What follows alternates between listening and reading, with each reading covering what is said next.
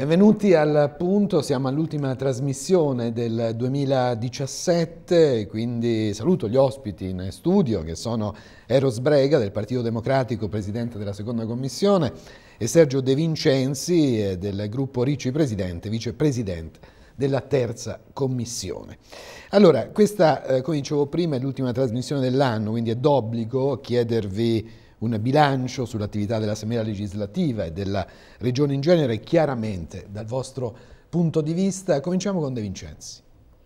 Ma, eh, è cominciato per eh, subito accendere le micce.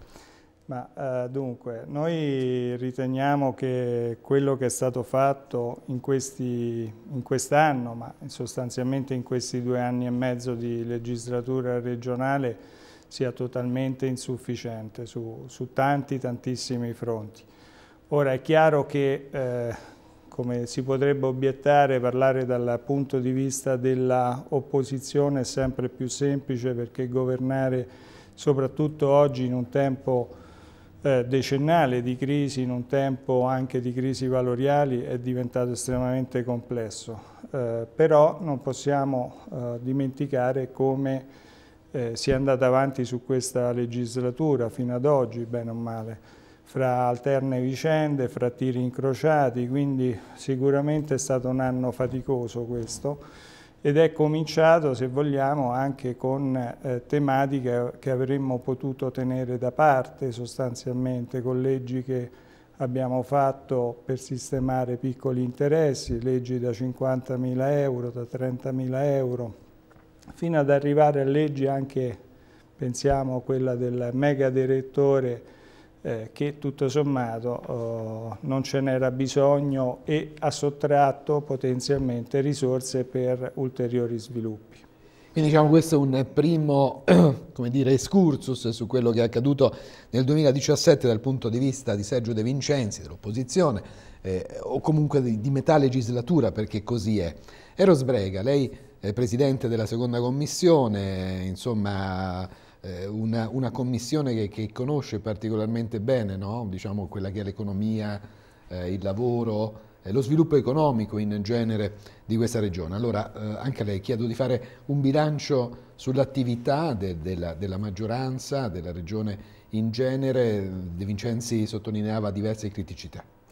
Ma innanzitutto eh, saluto tutti i telespettatori. Ma, eh, la riflessione che va fatta è da, bisogna dividere ciò che è l'attività dell'Assemblea legislativa e ciò che è stata l'attività della Giunta dell'esecutivo sul piano politico.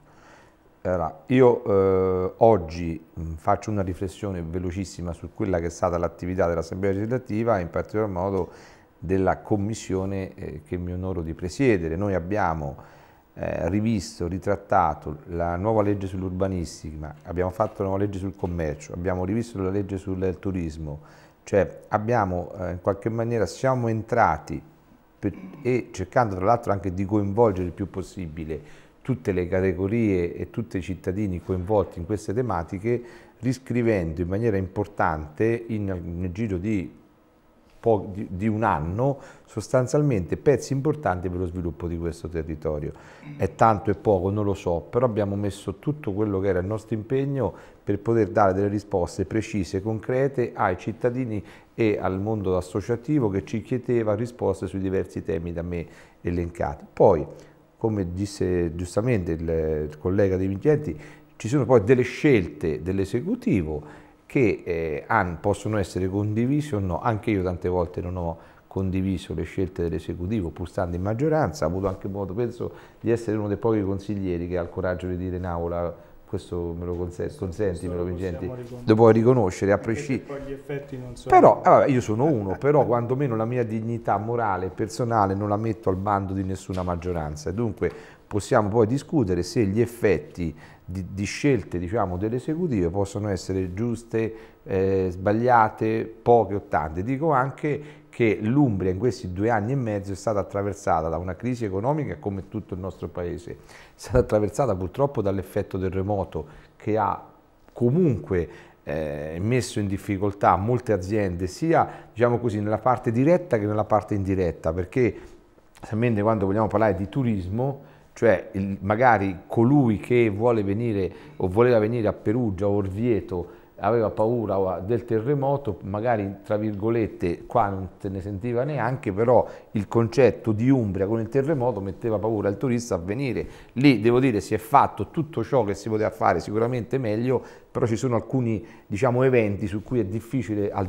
per tutti poter legiferare e sia chi, se uno è di destra, di sinistra o di centro. Detto questo concludo, sicuramente potevamo e dobbiamo fare ancora di più, però ecco, non ci lasciamo andare da quello che io in questi giorni, parlando di un tema come quello della lista gruppo, ho detto dalla polemica sterile della campagna elettorale che si farà a marzo.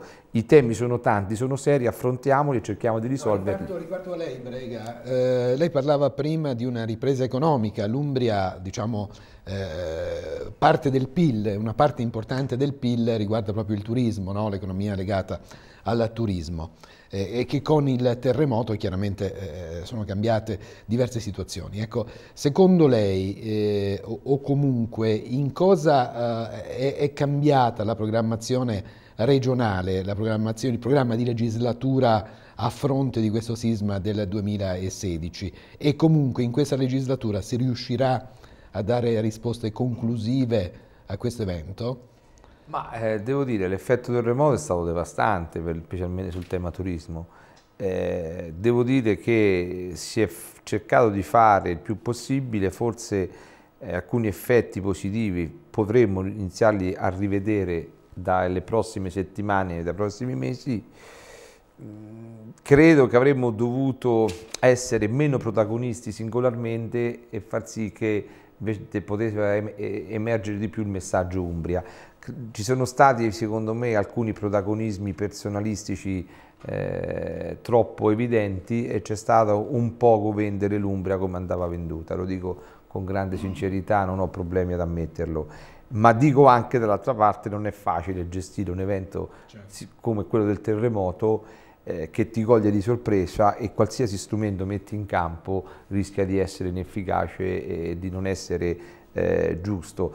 Mm, sicuramente si è corsi ai ripari con degli elementi, noi abbiamo appunto rivisto la legge cercando di venire incontro a tante situazioni, però capisci eh, a Castelluccio lì la particolarità e, l'attrazione era che i turisti andavano lì. Certo, e se noi, diciamo, era un... Ecco, e, è fondamentale riportare il turismo lì e rivendere certo. lì. Allora, fino a quando c'è un rischio che poi c'è tutto un meccanismo particolare che poi non coinvolge solo la regione ma che coinvolge lo Stato e il governo centrale, sono in difficoltà. Però diciamo così, diciamo che negli ultimi mesi c'è stato, eh, come dato che lei dottore è anche un esperto di calcio, e so quanti portieri fanno quello, quegli slanci importanti per andare a togliere la palla sotto il set. La parata ecco, sul set. Ecco, ora credo che negli ultimi mesi, nelle ultime settimane ci sia stato quello slancio, ecco speriamo che nelle prossime settimane potremo avere anche dei minimi risultati importanti per rilanciare l'economia, in particolar modo quella del turismo.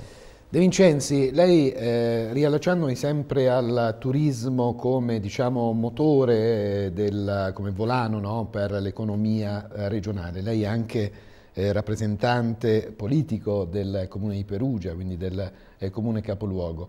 L'Umbria ha sofferto rispetto magari alla regione Marche il fatto di essere piccola e che quindi il terremoto della Valnerina così eh, alla gente è apparso come un terremoto dell'intera regione, si bloccò tutto, no? il 2016 è stato un anno particolarmente difficile, poi sta riprendendo, dobbiamo dire, nel 2017. Come l'ha vissuto questo, questo, periodo, questa lettura da un punto di vista diverso rispetto a quello regionale? O comunque lei le mette insieme chiaramente? Beh, è inevitabile, intanto una piccola chiosa al collega, a quello che diceva il collega Brega, cioè noi non possiamo scindere l'attività legislativa e quindi eh, quello che avviene in assemblea legislativa dall'esecutivo.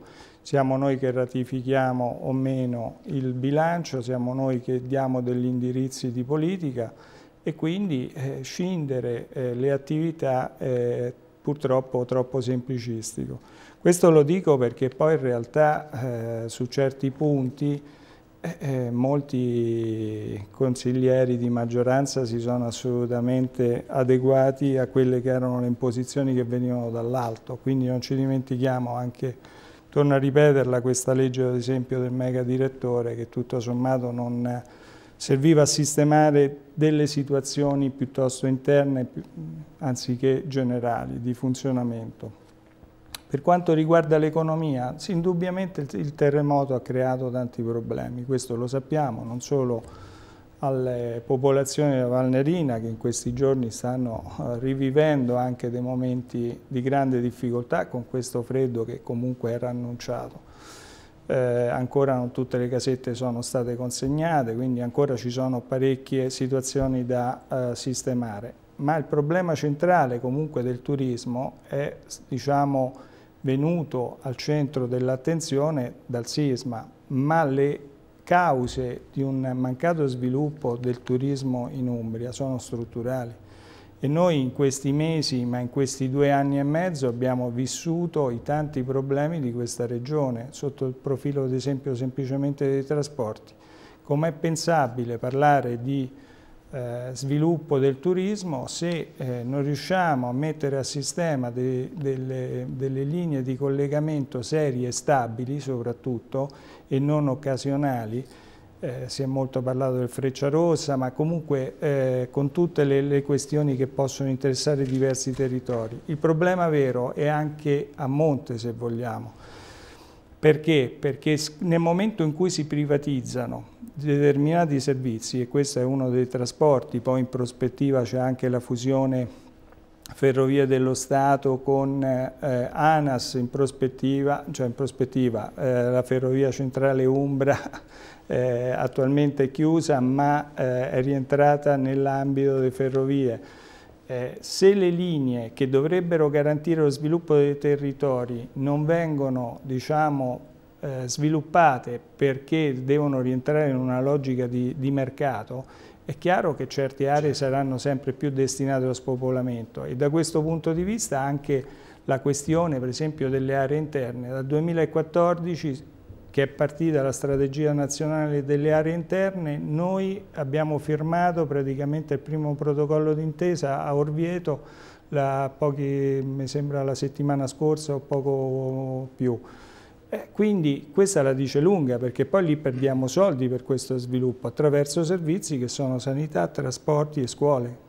Quindi eh, De Vincenzi lega al discorso economia, lavoro, quello di infrastrutture e trasporti chiaramente, no? perché poi il turismo stesso è legato a una serie di, di, di, situazioni che riguardano proprio le infrastrutture e i trasporti. Brega, è un argomento che lei spesso affronta in seconda commissione questo. No, ma non solo io affronto spesso in seconda commissione, credo che come sa il collega, eh, l'ultimo consiglio regionale abbiamo fatto su una mozione una cosa, e io in, sono intervenuto e tra l'altro è tornata la mozione in commissione per cercare di costruirla insieme, sostenendo in grandi linee quello che dice il collega eh, noi dovremmo innanzitutto però in Umbria cercare di cominciare a ragionare non più da eh, diciamo, consiglieri comunali aggiunti, ma dovremmo iniziare a ragionare veramente da una classe dirigente regionale, perché una regione piccola come l'Umbria continua a ragionare di localismi e non ha capito che o ci salviamo insieme o andiamo a casa tutti quanti. Allora, qui si sente i, chi vive a Perugia il Frecciarossa che retrocede d'Arezzo. Il, su questo sono assolutamente d'accordo. Chi, chi, vive a Terni, eh, il Frecciarosso, è regionale. Eh, il, eh. il, il Frecciarossa a, a, a, Orte. Allora, io ho detto, decidiamo di, di, di una cosa per tutti. Innanzitutto, l'emergenza trasporti, oramai la chiamo, va affrontata oggi nella fase di dire diamo una risposta immediata, mm, la migliore possibile, perché sono d'accordo, non è possibile che il capoluogo di regione, Perugia, sia sostanzialmente per, per raggiungere Roma ci debba mettere tre ore, se va bene.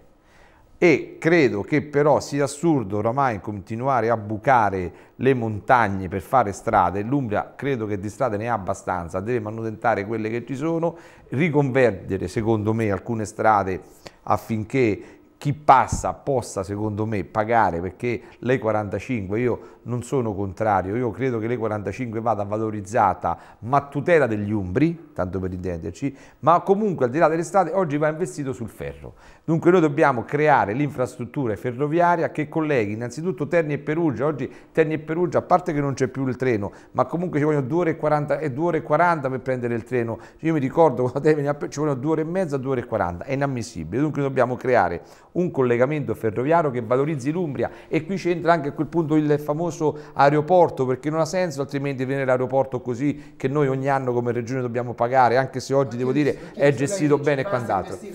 Basta e dobbiamo fare il eh, è, stra- è strano che la pensiamo allo stesso sulla, modo ma però... perché nella vita le persone libere la pensano in maniera normale. e oggi concludo nel dire noi dobbiamo creare un sistema che consenta da Terni di velocizzare il collegamento con Roma e Perugia deve essere collegata con Firenze perché questi devono essere due assi viari Perugia-Firenze, Terni-Roma. L'arretramento del Frecciarossa non pensa non sia un penso, primo... No, ma l'arretramento del Frecciarossa è una piccola risposta al problema, perché l'isolamento di Perugia, l'isolamento dell'aeroporto dell'Umbria non si risolve con l'arretramento, può essere sicuramente una risposta dovuta, ma è una piccola, piccolissima diciamo risposta, è un diciamo buco di partenza. Eh, diceva di trovarsi d'accordo, Brega dice anche di mettere a pagamento, mi pare lei 45, no? Lei Dico di valorizzarla per l'Umbria, oramai il tratto delle 45 noi abbiamo deciso di no, ma sanno Beh, veloce tutti, Brega, perché se no non sanno riusciamo... tutti che sta partendo il, pro, il progetto che ai confini della nostra regione del nord arriveranno ad investirla e noi avremo comunque di nuovo tutto il traffico pesante che percorrerà cioè, la E45 chiaro, chiaro. a discapito degli Umbri senza vederci riconosciuto nulla. Certo, inquinamento ambientale e via dicendo. Eh, De Vincenzi. No, vabbè, su, questo tema, su questo tema, ma io non sono d'accordo, anche se il ragionamento che sta facendo il collega sul pedaggio delle 45 ha una sua logica. Eh, noi personalmente, ma anche come gruppo, non siamo eh, d'accordo. Però c'è indubbiamente un tema che è questo uh, del, della manutenzione delle strade perché non basta fare le strade e poi bisogna garantirne e tenerle in ordine. No? Questo è un tema annoso. Eh, però c'è anche da dire poi eh, veramente come noi vogliamo valorizzare l'intero sistema Umbria perché sono d'accordo sul fatto che non esiste soltanto Perugia, ma sul resto, per esempio sull'aeroporto, che tipo di investimenti sono stati fatti, che tipo di politiche sono state organizzate, perché eh, di buchi nell'acqua ne abbiamo fatti parecchi. Allora, si parla di valorizzazione di questo aeroporto, ma che tipo di collegamento abbiamo pensato fra eh, il San Francesco d'Assisi e Roma, ad esempio, fra il San Francesco d'Assisi e Firenze? Perché è chiaro che eh, le compagnie aeree cominciano ad avere interesse per uno scalo di questo genere se poi la gente è invogliata perché magari in un'ora e mezza sta a Roma o anche meno in un'ora sta a, a, Firenze perché allora si, si, si permette di, di fare un gioco ad ampio respiro e soprattutto che tipo di politiche abbiamo messo in piedi per evitare che ci sia un turismo soltanto del mordi e fuggi, cioè quello della giornata, delle due, delle due giornate, perché quello che conta è il pernottamento. Quindi su questi e anche sulla messa a sistema di tutta la rete alberghiera e, e di agriturismi, perché non basta soltanto riempirci la bocca delle eccellenze umbre, quando su questo peraltro molto dovremmo ancora affrontare, in parte anch'io ho fatto un'interrogazione su prodotti che vengono commercializzati in Umbria con marchio Colfiorito, per esempio, o più, piuttosto che la Valnerina, Norcia, e però vengono da altrove. Eh, su questi temi noi dovremmo fare sì, un ragionamento senza nulla togliere al rispetto delle norme. Eh. Allora, eh, abbiamo otto minuti, poco più, due domande ancora avrei. Allora, eh, stiamo registrando questa trasmissione oggi è lunedì 18 dicembre, domani, eh, cioè martedì eh, 19, cioè il Consiglio regionale. Si parlerà di bilancio rispetto al prossimo triennio, eh, tre quarti delle risorse è riservato alla sanità, questo è un dato di fatto, cioè parliamo di un miliardo e 600 mila euro circa. Ed è proprio sull'organizzazione eh, e, e sui livelli della sanità regionale che vi chiedo un commento, ricomincio da lei De Vincenzi. Allora, intanto io, ehm, vabbè, potremmo dire molto. Intanto siamo sotto la spada di Damocle eh, del bilancio nazionale, del Fondo Sanitario Nazionale, per cui dovrebbero, mancano all'appello 1 miliardo e 400 milioni a livello nazionale, il rischio è che se non viene reintegrato quel, quel fondo in prospettiva eh, ne risulteranno danneggiati eh, la garanzia del, dei LEA, dei livelli essenziali di assistenza. Quindi questa è la prima questione. Poi eh, vogliamo parlare di piano sanitario regionale, eh, noi eh, cominciamo adesso la discussione, ma il piano sanitario arriva dopo parecchi anni dall'ultimo che è stato effettuato, se non erro, nel 2009 quindi significa che dovremmo rimettere a ragionarci, soprattutto lo dovranno fare le strutture sanitarie, sperando che siano ascoltate, perché dalla base vengono parecchie lamentele, eh, ma non solo degli operatori professionali che lavorano in condizioni di male organizzazione e quindi di aumento del rischio eh, che si corre in sanità, ma anche eh, della mancata risposta alle esigenze de dei pazienti. Adesso si usa il termine clienti, ma questo francamente non ci piace, eh, perché si parla anche di aziende purtroppo, e questo per descrivere anche quel clima valoriale che assolutamente eh, diciamo, impedisce di rimettere al centro sia dell'attività politica, dell'attività assistenziale la persona a tutto tondo e quindi da questo punto di vista noi ci auguriamo che col piano sanitario si possa dare una svolta, ma non ci dimentichiamo che il 70% di queste risorse che sono attualmente stanziate vanno per la cronicità, quindi da questo punto di vista se vanno per cronicità rischiamo anche di penalizzare molto le specialità e quindi nello stesso tempo se andiamo a fare un, un quadro complessivo il, il paziente ne risulta danneggiato. Brega, eh, diversi parametri danno la sanità umbra comunque al di là delle criticità, insomma, no? non so se condivisibili o meno condivisibili da parte sua che eh, sottolineava De Vincenzi, diciamo, molti parametri danno la sanità umbra comunque eh, tra i primissimi posti no? a livello nazionale. Lei che ne pensa? Io una piccola, piccola precisazione rispetto al tempo di infrastrutture, due secondi, io non sono perché ci sia la tassa sulle 45. Dico soltanto che vedendo ciò che accade nelle nostre regioni limitrofe c'è il rischio che aumenterà quel traffico, noi rischiamo di essere in mezzo e di far danneggiare gli umbri. Allora dico una soluzione. il pedaggio per chi ci viaggia. Io non lo so, uno, se però dico che far finta di nulla capito, non serve a nessuno. in particolar modo agli umbri. per questo, ecco, diciamo Punto. così. Sulla sanità, sanità credo che eh, sia riconosciuto da tutti e da, dai diversi governi nazionali che eh, negli anni hanno eh, passato a livello oh, nazionale appunto il governo che la sanità umbra sia una delle eccellenze del nostro paese. Questo non lo dice oggi il governo Gentiloni, non l'ha detto ieri il governo Renzi, ma l'ha detto anche il governo Berlusconi negli anni passati. Dunque che la filiera del, diciamo, della sanità umbra sia dentro un percorso di eh, una sanità regionale a riferimento nazionale è nei dati dagli ultimi decenni. Poi sicuramente, oggi lo diceva il collega anche qui De Vincenti, noi abbiamo un'opportunità nelle prossime settimane, quello di riscrivere il piano sanitario regionale, cioè di riscrivere quelle che saranno le linee su cui il piano sanitario regionale dovrà ispirarsi tenendo conto che sono cambiate le esigenze diciamo, dei, dei pazienti, che, cambiate, che stanno cambiando le esigenze dei territori.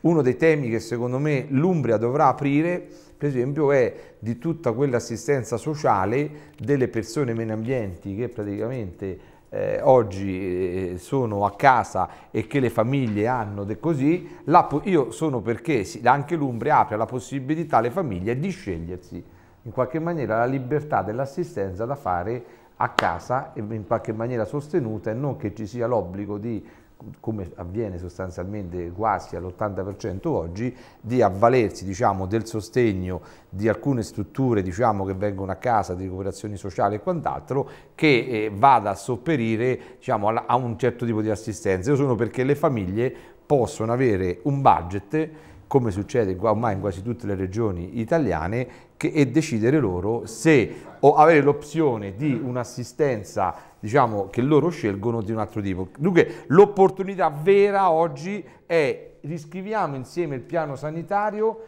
mettiamo da una parte maggioranza e opposizione, riscriviamo le regole per le esigenze vere in un tema sociale e sanitario che è fondamentale per lui. Allora, eh, vedete mancano poco più di due minuti, avevo domande sul, sull'ambiente, altre ancora, ma chiudiamo con eh, un, temi di carattere etico-valoriale su cui spesso De Vincenzi è intervenuto, ma anche lei, Brega, mi sembra siate abbastanza vicini da questo eh, punto di vista. Ecco, partiamo eh, de, de, dell'ultima novità, insomma, approvata dal Senato, la legge sul fine vita. Lei ha toccato altri argomenti nel corso di questo pezzo di legislatura.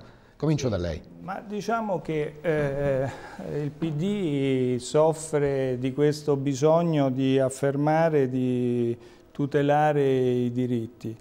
Eh, il problema vero è che in questa, cioè una cosa di cui veramente l'Italia, a giudicare da quello che sta accadendo, aveva bisogno, era quello della tutela della famiglia e questo è venuto a mancare in termini generali e complessivi.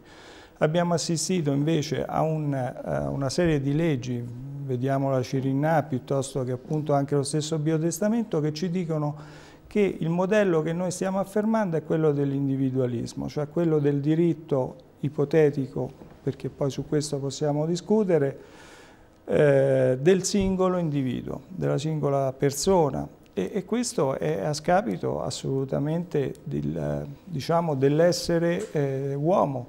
Prima eh, Brega diceva è l'Umbria che deve insieme reagire, allora per essere insieme come ci vogliamo essere? Insieme stando da soli o insieme collaborando. La famiglia è il primo contesto nel quale si collabora e si sopravvive. Prego, chiudiamo con lei, poi se ci sono due o tre secondi vi faccio una domanda politica invece. Velocissimo, condivido con De Vincenti che la famiglia è stata in quest'ultimo periodo, non a livello umbro soltanto, ma anche a livello nazionale, eh, diciamo non è stata presa eh, nelle dovute considerazioni.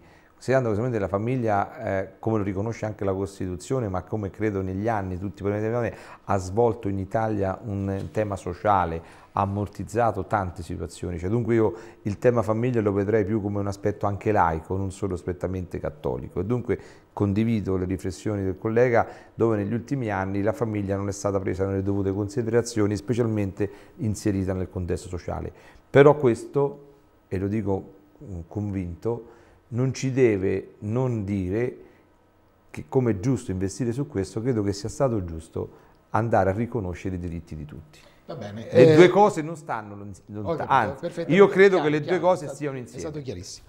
Eh, eh, pochi secondi. De Vincenzi, eh, tra poco entreremo, probabilmente prima di fine anno, il Presidente della Repubblica scioglierà le Camere. Si andrà con molta probabilità alle, a, a votare nei primi giorni del mese di marzo. Cosa cambierà in questo periodo nella diciamo, attività eh, di, di, di, di, politica regionale? Cosa potrà cambiare anche successivamente alla luce dei risultati che verranno? Beh, eh, qui veramente servirebbe la sfera di cristallo. Eh, I sondaggi sono mo molti, no? Ma Quindi no, io, io a giudicare da quello che sto vedendo temo che andrà a votare sempre meno gente eh, e la politica... Il 40% prima mi pare di aver sì, capito. Sì, sì. È molto pessimista io, su chi no, andrà a votare. Io sono pessimista perché vedo che non viene rimessa la persona e gli al interessi della persona al centro.